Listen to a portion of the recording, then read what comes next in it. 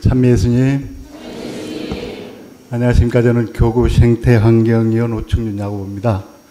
어, 신부님께서 소개를 잘 해주셨는데 강의를 잘 할 수 있을지 심히 걱정이 많습니다. 오늘 이렇게 소중한 시간을 내서 저와 함께 해주신 모든 분들께 감사드리면서요. 어, 오늘 함께 나눌 이야기는 한원이 생태환경 보전 활동입니다. 이 이야기는 무슨 전문적인 분야가 아니고 우리가 교회나 또는 일상생활에서 이루어졌던 실천 사항이기 때문에 큰 부담 없이 들으면 될 것입니다.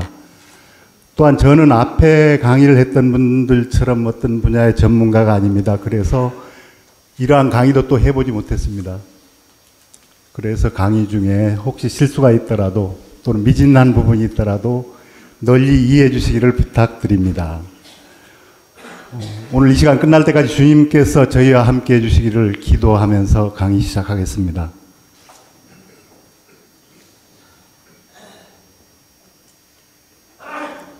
어, 오늘 강의 주제는 한원입니다. 어, 서귀포에 있는 한원 분라구인데요. 가운데 이 반달처럼 보이는 게 한원 분라구의 어, 바닥이죠. 어, 멀리 보이는 섬이 범섬입니다. 오늘 이야기는 한원에서 시작해서 바로 이 한원에서 끝날 겁니다.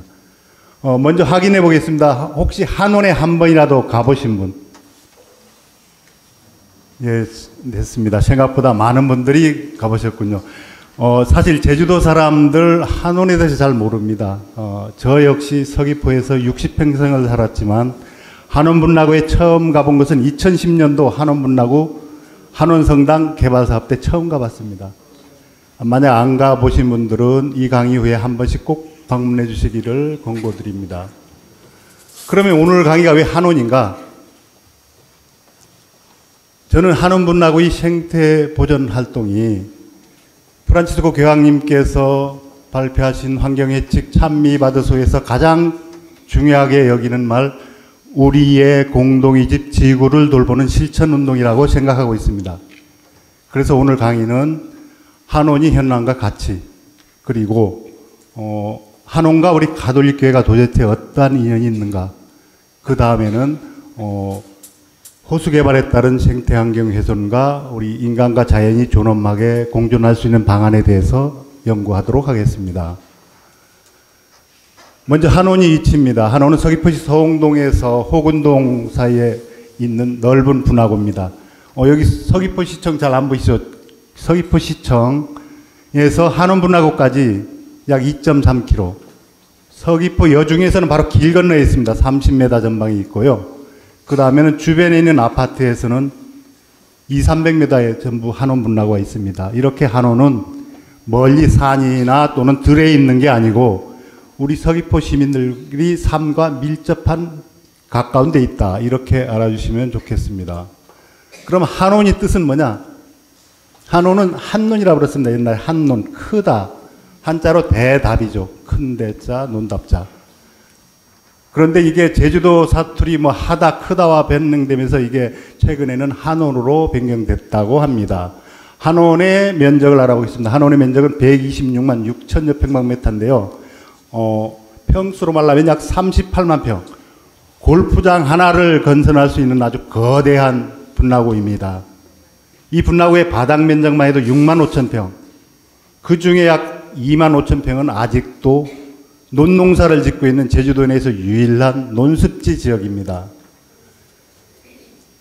어, 한원분라구의 크기입니다. 어, 넘어가 버렸네요. 어, 한원의 면적, 어, 면적 그다음 한원분라구의 크기는 3,774m. 어, 걸어서 약 2시간 정도 걸립니다.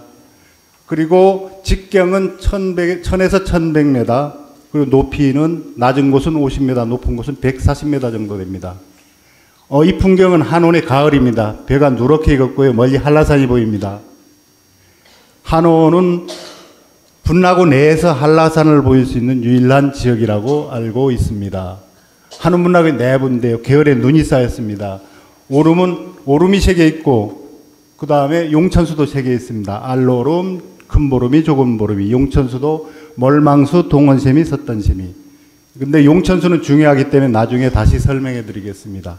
이러한 한원 분락은 어떻게 형성이 됐냐? 5만 년 전에 수성 화산이 폭발로 이루어진 마루형 분락구라고 알려져 있습니다. 보통 우리 오름 분락구는 화산이 폭발하면서 오름이 이렇게 올라가잖아요. 올라가면서 분락구가 가운데 생기는데 한온인 경우에는 어, 분락구가 폭발하면서 차가운 지하수와 만납니다. 그래서 폭발과 동시에 바로 식어버리죠.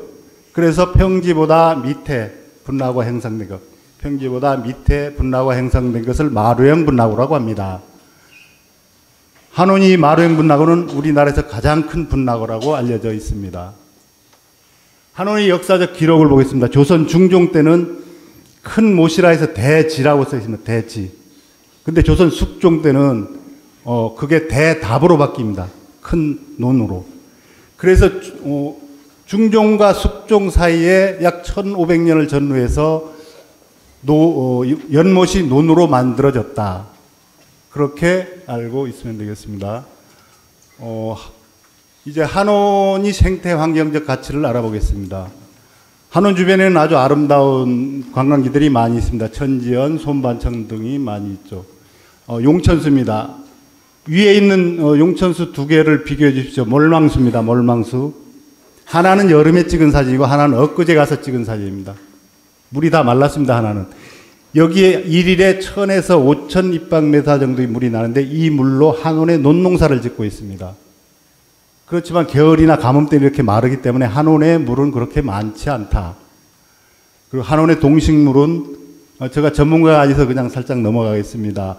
그런데 육지, 내륙, 습지 지역에 비해서 동식물이 다양성은 매우 부족하다. 왜냐하면 한원 주변이 전부 과수원입니다. 그래서 과수원에서 농약을 많이 사용하고 있는 게 아닌가 생각이 듭니다. 그러면 한원이 생태 환경적 가치는 뭐냐?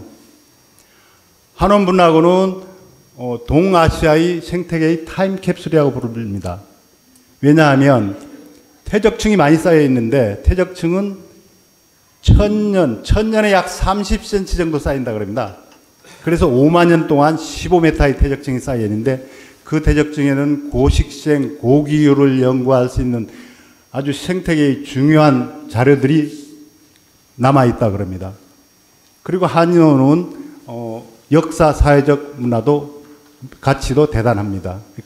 나중에 다시 설명드리겠습니다. 한원이 생태 체험 학습장인데요. 어, 여기 오른쪽에 있는 벼베기는 제가 직접 한번 참여해 봤습니다. 어, 벼를 이렇게 다 베는 게 아니고 어, 시둥만 베면은 그다음 나머지는 콤바인으로 하더라고요. 그래서 1년에 약 2만 5천 평에서 1200포대 정도, 40kg 1200포대 정도가 생산되고 있었습니다. 그러면 어, 한원과 우리 가톨릭 교회가 도대체 어떤 인연이 있는가 알아보겠습니다. 한원은 산남 지역의 신앙의 못자리 한원 성당이 설립된 지역입니다. 한원 성당은 초대 김원영 아우구스티노 신부님에 의해서 1900년 6월 12일 날 서귀포시 호군동 194번지에 초가집, 사칸짜리 초가집으로 설립되었습니다. 설립 당시 신자는 20명이었고요. 어, 예비 신자는 약 34명. 그 1년 만에, 1년 후에 한원성당 신자는 138명이고 예비 신자는 620명 정도 불어납니다. 어마어마하게 불어나죠. 이러한 교세 확장이 과정에서 당연히 일어나는 지역 주민과의 갈등이 많았습니다. 그러한 게 다음에 설명드릴 신축 교환의 한 원인이 되기도 합니다. 이렇게 한원성당은 1900년 6월 22일 날 설립되었다가 어, 1902년에 홍로본당으로 옮겼다가 1937년에 지금의 서귀포 성당으로 옮깁니다. 이래서 한원성당은 서귀포 지역, 산남 지역, 모술포 성당부터 성사포 성당이 다 한, 우리 한원 성당에 뿌리를 두고 있는데요. 산남 지역 아홉 개 성당이 모태 성당이라고 부릅니다. 어, 신축교환과 한원 성당. 신축교환은 잘 아시잖아요. 이재수인 안이라고 부릅니다. 이재수인 안. 그리고 학자들 사이에서는 제주 밀란이라고 부릅니다. 1901년 5월 5일부터 6월 11일 사이에 우리 천주교인들이 교패, 세금 징수와 같은 교패에 반발하면서 일어난 밀란입니다. 우리 제주 천주교의 아주 불행한 역사죠. 5월 5일 날 대정읍성에서 천주교인과 이제 상무사들이 충돌을 시작한 후에 계속해서 민군들이 진, 진입을 하고 우리 천주교인들은 전부 다 제주읍성으로 도망갑니다. 다 숨습니다. 그래서 5월 28일 날 제주읍성이 민군에서 함락되는데 그때 제주읍성에 피난가 있던 천주교인을 전부 잡아다가 피살, 사살해 버립니다. 민군들이. 지금 이 사진이죠, 이 사진. 이게 좀 시체입니다, 이거죠, 시체. 관덕정 앞에 있는 시체. 이때 우리 교회 측에서는, 교회 측에서는 약 500명에서 600명 정도가 희생지였다고 주장하고 있는데, 어, 당시 조선 조정에서 내려온 평년 검사의 조사 보고서에 의하면 천주교 신자는 309명이 피살됐고 민군은 8명이 죽었다. 일방적으로 이 천주교인들이 피해를 받습니다. 그 309명 중의 희생자 중에 한원성당 신자가 139명이나 포함되어 있습니다. 이렇게 한원은 우리 신축교환과도 밀접한 관계가 있습니다. 다음에 사제이자 식물학자인 타케 신부. 타케 신부는 한원성당 제3대 주임 신부로 부임합니다. 1902년부터 1915년까지 13년 동안 한원성당과 그리고 홍로본당의 주임 신부를 역임하시면서 많은 일을 하시죠. 식물학자 타케 신부의 업적에 대해서는 지난번 우리 4강 때입니다. 이문영 박사님이 아주 상세히 설명을 했기 때문에 저는 어, 그 중에서 여기 밀감나무 도입에 대해서 잠깐 말씀드리겠습니다. 이 감귤나무 이거는 지금 현재도 있죠. 다케 신부님이 심은 나무 몇 명이 집에 있습니다. 가서 한번 보시기 바랍니다. 1911년, 1911년 일본에서 14그루의 온주밀감나무를 들여온 다케 신부는 어, 홍로본당과 신자들과 지역 주민들에게 분양시켜 줍니다. 그래서 1년 후에 아주 감귤이 많이 열립니다.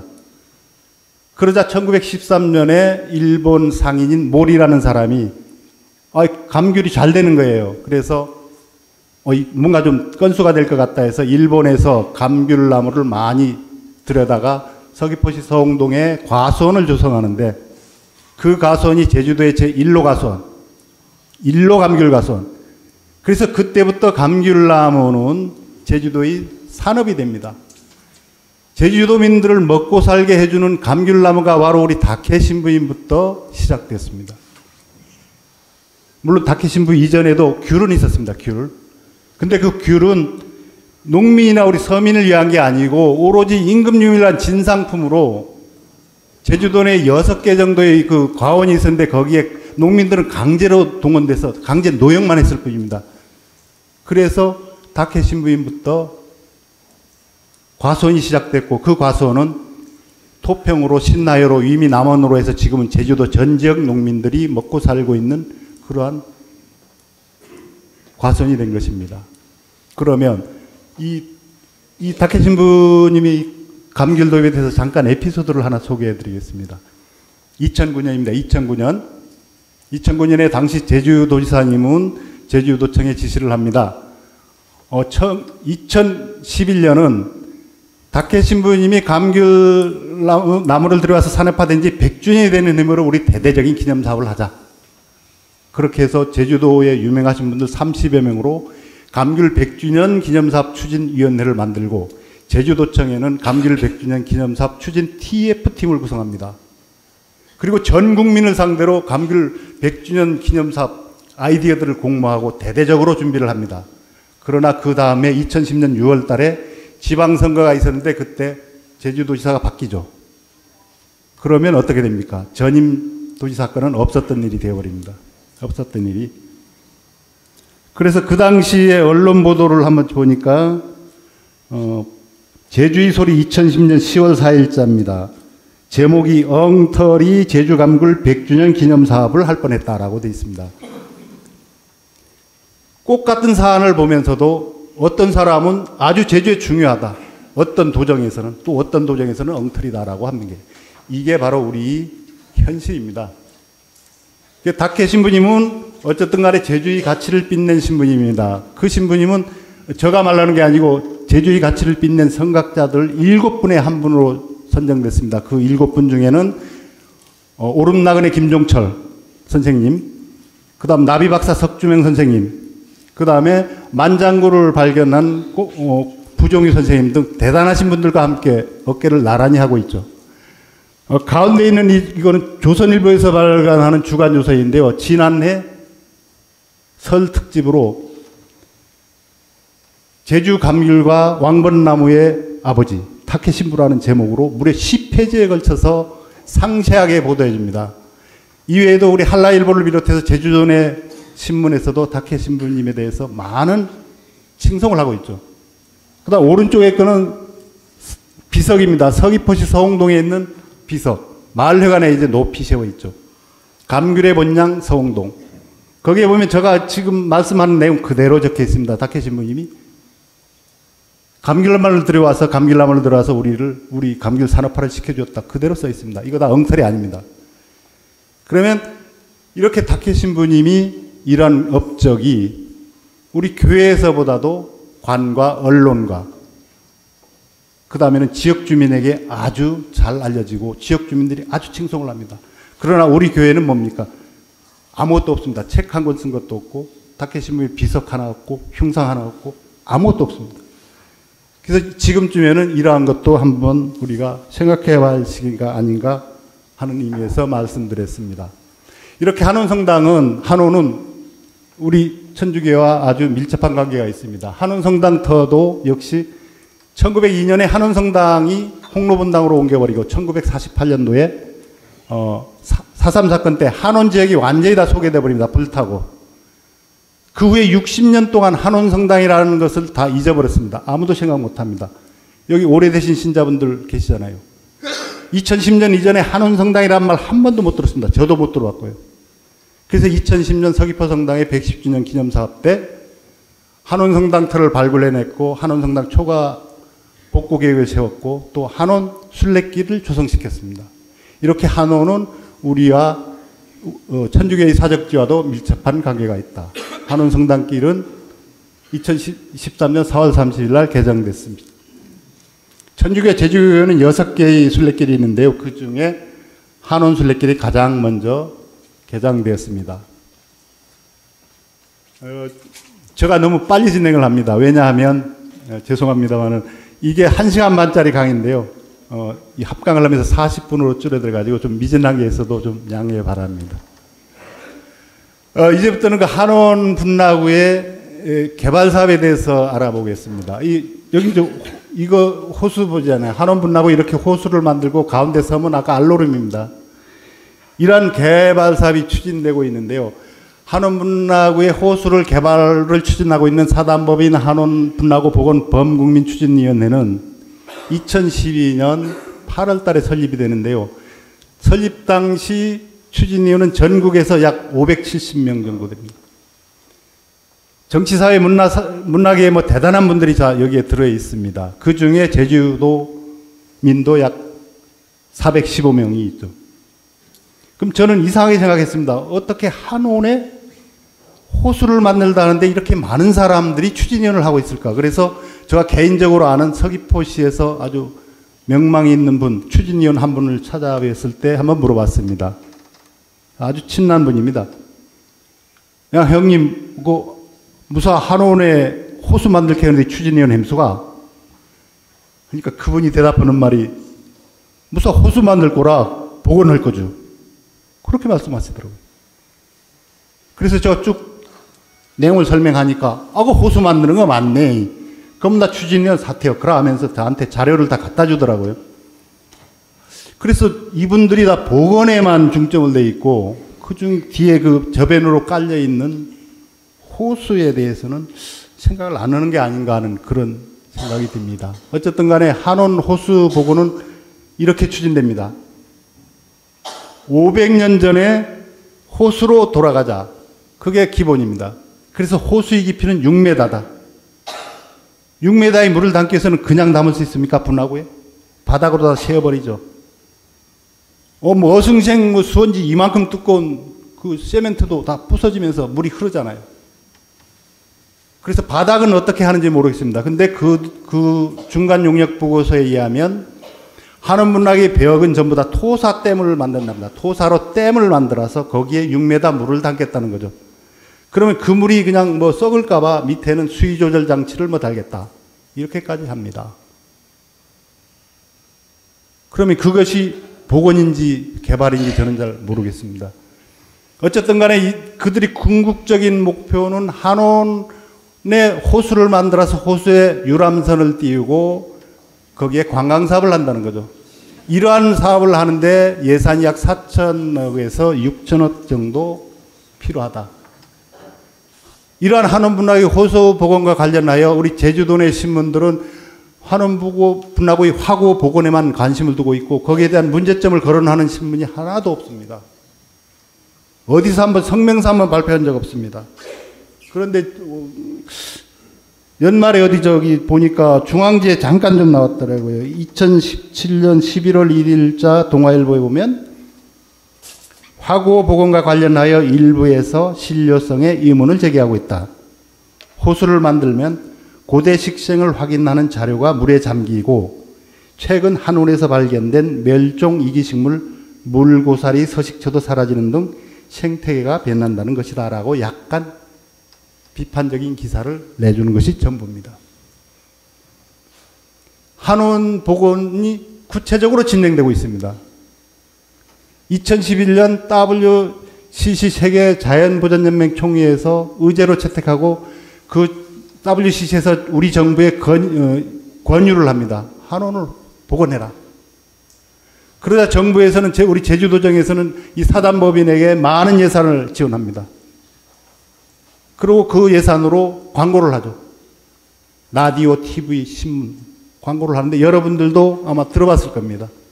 5만 년 자연이 보고 뭐 한원을 복원합시다. 당연히 복원해야죠 하는 그런 광고를 들으셨을 겁니다. 그런데 그 광고에 호수를 만들자겠다는 말 한마디도 안 나옵니다.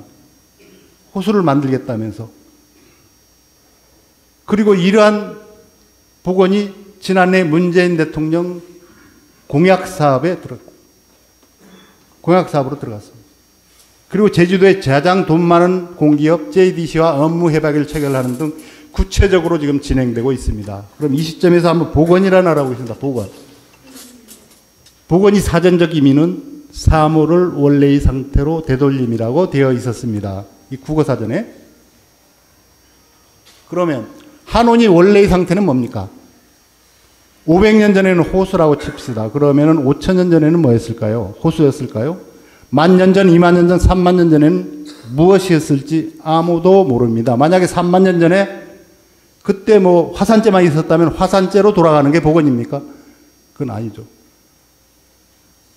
그 복원이 시기가 왜 500년 전이야 하는데 아무도 설명을 못 합니다. 그럼 복원의 왜 복원을 그냥 하는 게 복원인데 왜 댐을 건설하느냐? 그게 복원입니까?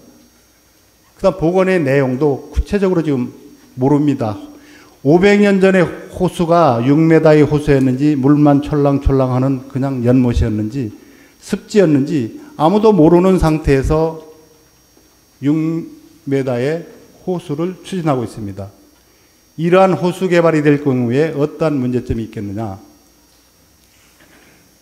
우선 자연과 기후가 변합니다. 이때까지 쭉 설명드렸지 않습니까? 한원분하고는 서귀포시 주민 거주지 아주 가까운데 2, 300m 가까운 데 있는 분하고다. 여기 10여만 평에 새로운 호수가 생긴다고 가정해 보십시오. 기후가 안 변합니까?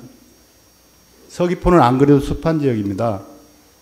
장마철에는 옷을 말릴 수가 없어요. 그리고 뭐 그냥 가죽 잠바에 곰팡이가 그냥 피는 그러한 지역인데 다시 이렇게 커다란 호수가 생긴다면 그 습기로 인해서 일어나는 기후변화, 그걸로 인나는 시민생활의 악화는 어떻게 하려고 하는지 모르겠습니다. 분화구의 퇴적층이 중요하다고 했습니다. 고식생 고기를 연구할 수 있는 그런 퇴적층이 중요한 퇴적층이 있다 그러는데 그 중요한 퇴적층이 도대체 호수를 만들어서 다 묻어버리면 뭐냐? 호수를 만들면 다 묻어지잖아요. 그 다음에 지하, 지하수 고갈 문제입니다. 이건 아주 중요합니다. 아까 우리 그 몰망수 봤잖아요. 1일 1000에서 5000 입방메다 정도 나오는 몰망수. 그 몰망수로 6m의 물을 담을 수 있겠습니까? 10여만 평의 6m 호수가 될 것 같습니까? 그래서 중간 용역 결과 보고서를 보니까 어디에 물을 담는다고는 안 나와 있었습니다. 그런데 한온에 6m 물을 담는데 약 280일이 걸릴 것이다라고 추정은 해놨습니다. 그렇다면은 어디 물을 땡겨다 담을까요? 가장 쉬운 거는 손반찬 물입니다. 손반찬 물을 땡겨다 담으면 혹시 이제 뭐 한온에 거기 호수가 생길지도 모르죠. 그렇지만 선반천문을 땡겨오는 그 순간에 그 하루에 있는 천지연은 사라져버립니다. 천전 폭포에 물을 안 떨어지죠. 그러면 시민들이 가만 안 둘 것 같으니까 그렇게는 못할 것 같고 그러면 뭘 해야 되냐. 결국은 지하수를 뽑아낼 겁니다. 지하수를 그렇게 수, 10여만 평에 되는 그 어마어마한 지하수를 뽑아내면 제주도의 지하수가 고갈될 겁니다. 아마.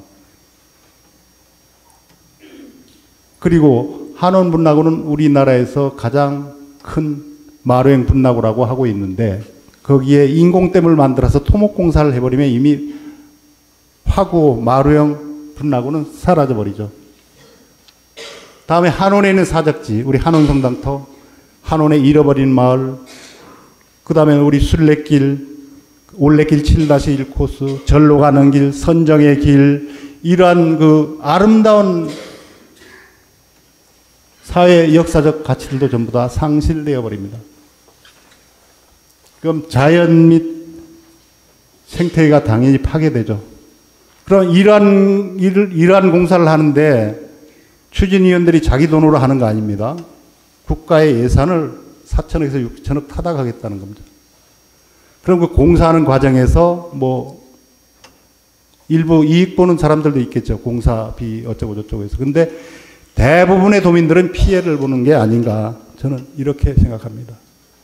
그래서 한온 호수 개발은 현재의 아름다운 자연, 우리 500년 동안 이어온 역사적 자연, 그 다음 우리의 모든 생태 환경을 무시하고 오로지 500년 전에 아름다운 호수가 있었을 것이다라고 생각하는 그러한 계획이다. 저는 그렇게 말씀드립니다. 한원 문학의 복원 추진은 여러 번 됐었는데요. 그 중에 가장 웃기는 게 2002년도에 서귀포 시청에서 계획했던 한원을 야구장으로 만들겠다는 그 계획을 세웠었는데 시민들이 돌팔매를 맞고 바로 접었습니다. 그래서 2017년도에 대통령 공약 사업까지 아주 여러 가지로 진행되고 있습니다. 이런 한원을 그냥 놔둘 것이냐? 아닙니다.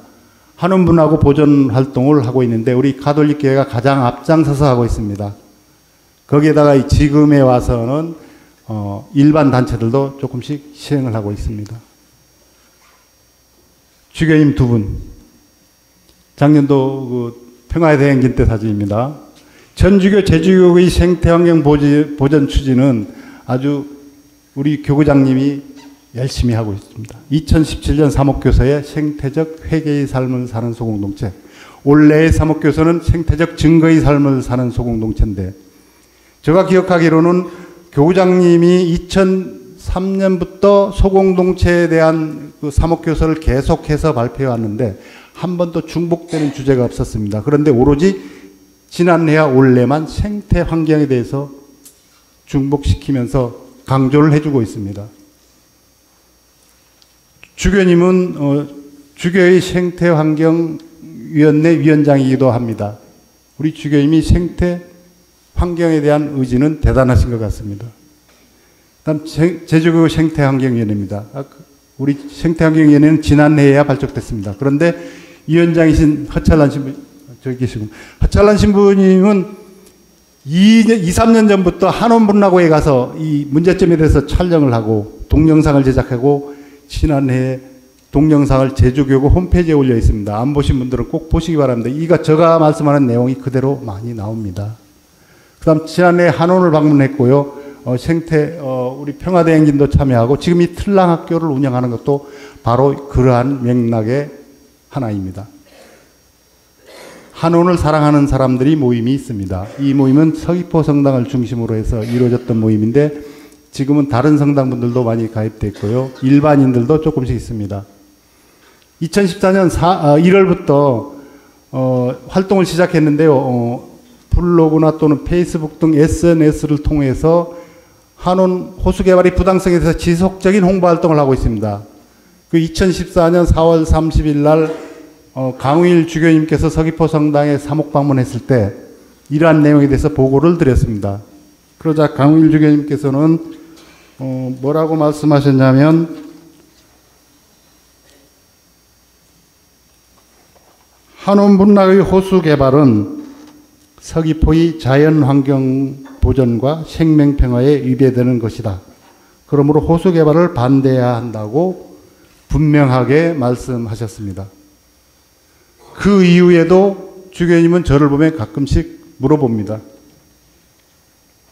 한원 호수 개발 어떻게 되고 있습니까? 라고 물어보면 저는 그동안에 일어났던 일에 대해서 브리핑을 해드립니다. 그러면 주교님께서 어떻게까지 말씀하시냐 하면은 당신의 이름을 내가 사용해도 좋다고 합니다.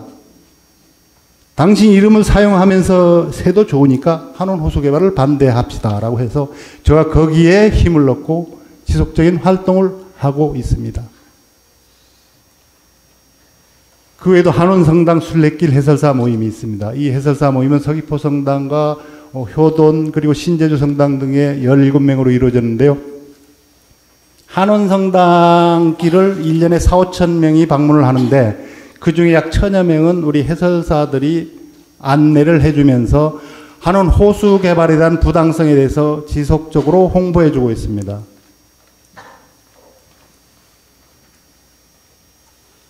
그리고 가톨릭 환경연대 및 평화방송순례단 인천에 가톨릭 환경연대가 있다고요. 그분들은 1년에 세네 번씩 한원, 세네 번씩 한원을 방문하고 있고, 그 다음에 평화방송순례단은 매월 한 번씩 방문하는데 꼭 한원을 방문합니다.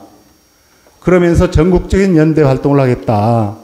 한원의 호수 개발은 말도 안 된다라고 하고 있습니다.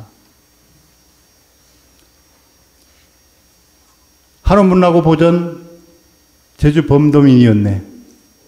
이거는 2월 5일 날 우리 천주교회에서 하는 것을 보고 일반에서 이제 2월 5일 날 창립되는데, 어, 제주도 내 10개의 환경단체가 가입되어 있습니다. 그 중에 우리 한원 순례길 해설사 모임이 단체로, 창립단체로 해서 가입되어 있습니다. 그래서 주교님께서 말씀하시는, 어, 단체들과 시민단체와 함께 연대 활동하라는 것을 실천하고 있습니다. 어, 헷갈릴지 모르지만 한원 복원을 추진하는 거, 호수를 만드는 데는 제, 범국민 추진이었네. 그 다음 호수를 반대하는 데는 제주 범도민이었네. 다 범자 들어가고. 어, 여기 그 요게 그 한원 분나하고 방문자 센터입니다. 제가 근무하는데. 한원에 오실 분은 여기 오시면 제가 언제나 있으니까 꼭 한 번씩 찾아주시기 바랍니다.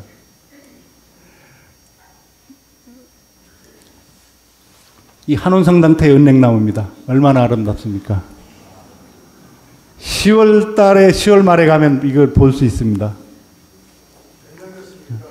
이 은행나무가 아마 100년 이상이 된 걸로 봐서 저희들이 그냥 추측은 타케시문이 심은 게 아닌가 생각합니다. 왜냐하면 제주도에 은행나무는 거의 없습니다. 은행나무 제주도에 잘 없는데 유독 한원 성당타하고 지금 어, 면영이 집에는 오래된 은행나무가 있거든요.